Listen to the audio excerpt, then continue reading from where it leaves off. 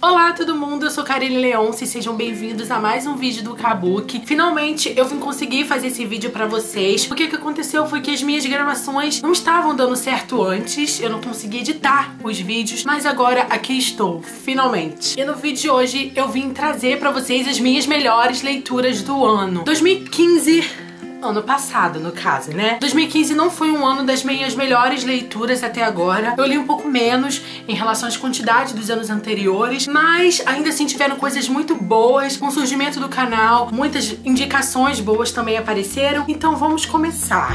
Em décimo colocado eu tenho Morra por mim, Dame Plan, que me surpreendeu porque o romance sobrenatural ele se passa em Paris e foi a primeira vez que eu li um romance sobrenatural que se passa em Paris e eu gostei muito, eu gostei da escrita da autora, eu gostei do mistério do livro. Eu gostei muito da evolução dos personagens, dos personagens principais, dos personagens secundários, as histórias que eles carregam. Os personagens aqui eles têm histórias muito longas, muito antigas. Então foi um livro que me surpreendeu. Eu não esperava nada dessa leitura e ela acabou me surpreendendo. Então eu não tive coragem de tirá-la do top 10 e coloquei aqui pelo menos em décimo colocado. Em nono lugar, eu botei no mundo da aluna da Karina Risse, porque foi o primeiro livro de Clit que eu li. Foi um livro engraçado, divertido. Eu adorei a personagem principal, a Luna, ela é divertida. A Karina Risse, ela tem esse estilo de sempre colocar algo muito sobrenatural no Tiklit. É divertido, é engraçado. Você acaba se prendendo completamente à história até o final, até porque sempre tem uma problemática por trás da mitologia e vale muito a pena, muito a pena. A Karina se tornou uma autora incrível nacional, ela se tornou uma das minhas autoras favoritas e é isso. Em oitavo lugar, eu trouxe o Senhor Dennis da Brittany C. Shelby, que foi uma leitura em New Adult. Eu amei esse livro, tem um drama muito carregado, só que tem personagens engraçados, divertidos também. Eu gostei muito da história dos personagens secundários,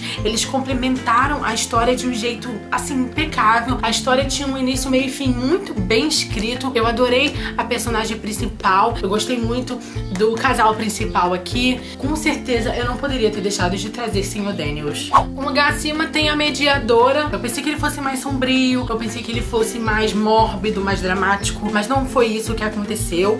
A mediadora, ele tem uma escrita diferente. A Meg, ela tem a escrita só dela. Ela conta histórias divertidas. Ela retrata personagens irônicos amargos também. É diferente de tudo que eu já tinha lido. Eu gostei muito da mitologia que a Meg criou. Me prendeu muito. O chip, o casal principal, ele é muito diferente. É uma história sobre fantasmas, mas não tem nada assim de tão mórbido. Eu juro pra vocês que não tem. Então se diferenciou pra mim por conta disso. Mas em cima tem a Quinta Onda do Rick Yancey, que finalmente o filme vai sair agora no final de janeiro. Eu amei esse livro porque, embora seja de ficção científica, a escrita dele é muito romântica. Ele consegue falar de uma nave especial, mas na folha seguinte tá falando de uma florzinha. Ele consegue se até os detalhes e não só o termo geral, sabe? Ele não é técnico nem nada. Foi a segunda vez que eu li algo sobre invasão alienígena, mas foi muito diferente. Se destacou para mim e fez o ano valer. Em quinto lugar, eu trouxe Champion, que finaliza a trilogia Legend. Eu gostei muito, foi um dos melhores desfechos para mim. Eu gostei da forma como os personagens terminaram as suas histórias.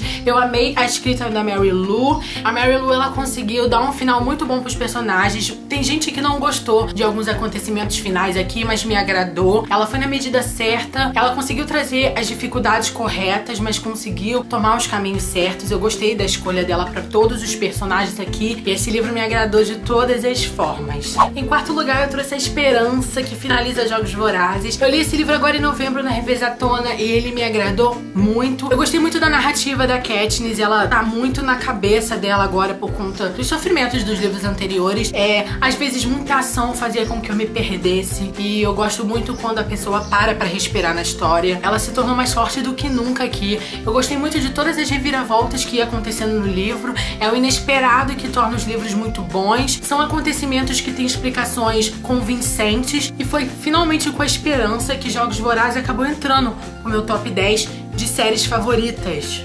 Em terceiro lugar, eu trouxe Sombriossos da Libardugo. Foi uma surpresa em todos os aspectos para mim durante o ano. Foi a primeira fantasia assim medieval que eu li. Também foi um IA totalmente diferente de todos que eu já tinha lido. Eu amei a protagonista, a Lina Starkov, e ela é diferente de tudo. Ela é fraca, mas ela acaba se tornando forte. E a forma como ela vai se tornando forte durante o livro é impressionante. Gostei das reviravoltas, gostei da mitologia gostei da escrita da Alina, que é impecável, sabe? Ela fecha a história perfeitamente bem. Eu amei as escolhas que a autora foi fazendo durante o livro, e é isso, se tornou o meu terceiro favorito do ano. Em segundo colocado, eu trouxe o último volume, mas é a série inteira de Academia de Vampiros. Foi uma série que eu li em fevereiro, bem no início do ano, mas valeu a pena, assim, demais. Eu devorei a série inteira em uma semana e valeu muito a pena. É no quesito romance, é na mitologia, é na ação, na forma como a personagem principal se coloca na história. Gostei dos protagonistas, gostei dos personagens secundários. Eu amei a série inteira. Muita gente não gosta tanto dos últimos três livros porque eles realmente são muito diferentes. Existe uma reviravolta no meio da série que vai modificar o cenário inteiro da série, mas mesmo assim eu gostei muito. Eu gostei como a Rose começou a se comportar depois do terceiro livro. O romance para mim nunca é demais, então para mim ficou ainda mais gostoso de terminar essa série. Será o primeiro colocado, hein?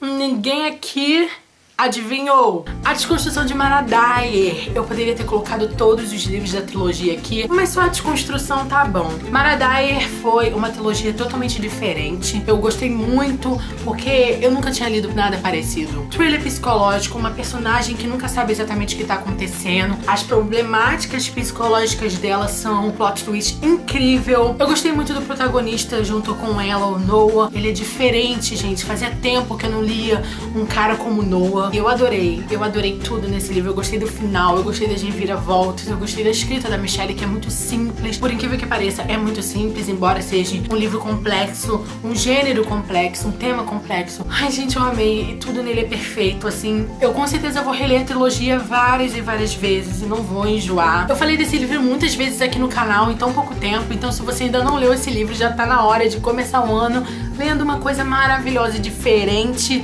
Por favor, não perca a oportunidade. Bem, amores, foram esses as minhas 10 melhores leituras do ano. Sombriossos voltando a ser citado aqui, é incrível como ele tá sempre nas bombadas de leituras e não sei o que. Eu adorei realmente. Deixa aqui nos comentários quais foram as suas melhores leituras do ano. Eu quero saber se algum desses livros aqui está na lista de vocês ou se vocês leram no ano anterior e gostaram. Então, por favor, deixem aqui nos comentários pra mim. Bem, amores, eu espero que vocês tenham gostado desse vídeo. Se vocês gostaram, dá um joinha pra ajudar na divulgação. Não se esqueçam de se inscrever no canal, caso vocês não sejam inscritos pra receber todos os próximos vídeos em primeira mão. Então é isso, gente. Eu vou, mas eu volto, tá? Um big, big beijo pra vocês e até o próximo vídeo. Tchau!